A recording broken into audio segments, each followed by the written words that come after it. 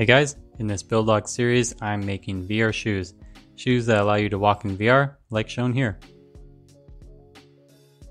I'm working on making a complete, detailed build guide for the support rig, then another guide for the VR shoes. So if you're interested in building this rig or the shoes, when they're ready, the guides will be on my hackaday.io profile. So in the last video, I put this all together, but I quickly saw an issue. I used steel tubes for a lot of this and they started to rust and corrode. So for the tubes that had sliding components, I replaced them with aluminum. So this is aluminum, uh, these two, uh, these three pipes here, and they shouldn't corrode now. And then for the pipes that don't have any sliding parts, like this one down here, or the ones up here, I just painted them. So that was the solution to the corrosion problem. But introducing these aluminum pipes caused another issue. What I found is that this pipe here is not strong enough. It has a lot of play here and I used the rig for a couple of hours and I found that this pipe actually bent forward and it was permanently bent forward until I really pushed it back to bend it straight. So this pipe here is just not strong enough. I'm gonna have to replace this again. So what I'm gonna do is I'm gonna replace this aluminum with this conduit. This is galvanized steel. So it's steel like the first pipes that I had, so it'll be strong enough, but it's galvanized so it won't rust.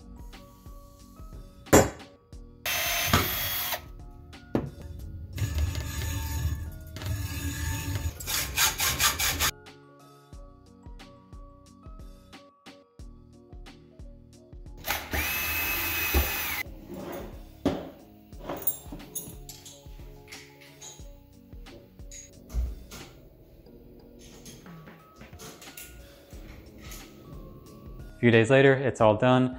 I played Half-Life Alyx for about an hour and it held up well. It's stronger than the aluminum, so there's not much play here. And this steel conduit is actually cheaper than the other materials I tried before this, so that's a plus.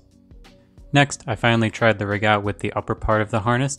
Up until now, I have been using the bottom part of the climbing harness, the part that goes around my legs and waist. This is what it looks like. I didn't really notice any difference in the way that it felt when walking. I'm still pushing at my hips and I don't really feel the urge or the need to push my chest against the upper part. Running was easier while wearing the upper part. When running, I found that I do actually uh, want to and it helps to lean my chest against the harness. With the harness, I'm still able to breathe just fine even while I'm pushing against it. Crouching is made harder when the upper part is attached. I can't really lean forward when it's attached, so when I crouch, it's harder to go back to a standing position. This is what it looks like without the upper part. I lean forward, shift my weight, and it's easy to return to a standing position. But with the upper part attached, I can't lean forward and shift my weight. So what I end up doing is that I have to spread my feet out further and I have to angle them to the outside so that it's easier for me to push my feet against the floor without having them slip. I think the upper part of the harness is good for beginners in scenarios where you're not crouching very much or if you want to run a lot. I personally don't feel like running very much while I'm playing. Walking is fine the vast majority of the time for me. I can still run even Without the upper part, it's just not quite as easy as walking and it's noisier. Looking ahead, for my next support rig, I'm going to make it so that you can lean forward while still wearing the upper part, then the problem with crouching will be gone.